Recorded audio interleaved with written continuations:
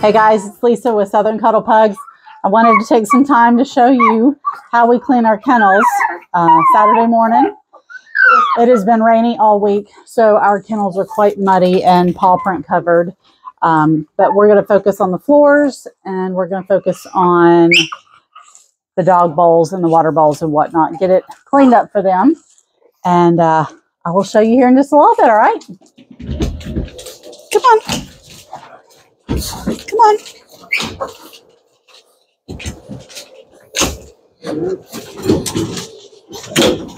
Come on. Come on, guys. Come on, come on, come on. Come on. Oh, oh.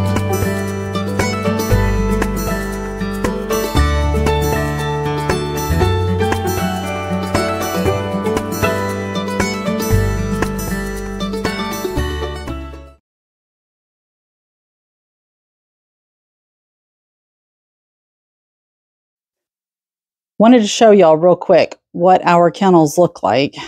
We vacuum pretty much every day, if not every other day. And um, I just picked up the beds, picked up all their bowls. As you can see, their beds there, their bowls, their water bowls, their little bully stick that they got last night. But uh, just wanted to show y'all how much hair we have after just a day or so. And I washed and brushed them earlier in the week, but it is shedding season right now. So, all right, back to cleaning.